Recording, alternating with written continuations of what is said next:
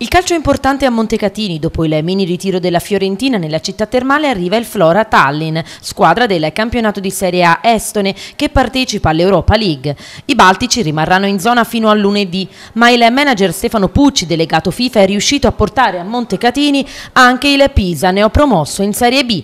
Qualche giorno di ritiro e allenamenti alla comunale Daniele Mariotti per i neroazzurri, già ospiti a Montecatini nel mese di luglio. Il Pisa appunto che c'è questo grande entusiasmo per, per, la promozione in Serie B, poi ci sarà il Flora Tallinn che appunto sarà l'avversario del Pisa domenica. Ma Pisa, eh, Montecatini avrebbe secondo me caratteristiche sia per le strutture alberghiere sia per eh, il fatto di essere molto vicini agli aeroporti eccetera. Il problema ecco, ora per esempio il, il, terreno di gioco è in ottime condizioni, secondo me hanno fatto veramente un buon lavoro, però bisognerebbe lavorarci poi costantemente, ecco, tutto l'anno, avere un progetto,